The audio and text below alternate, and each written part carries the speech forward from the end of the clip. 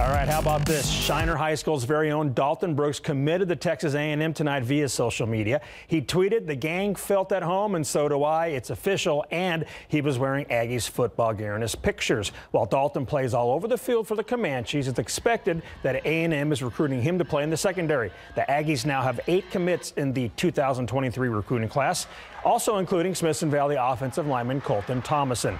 Dalton and his brother Doug led Shiner to back-to-back UIL state Class 2A D1 state championships. Doug graduated and he signed with Texas A&M at Kingsville.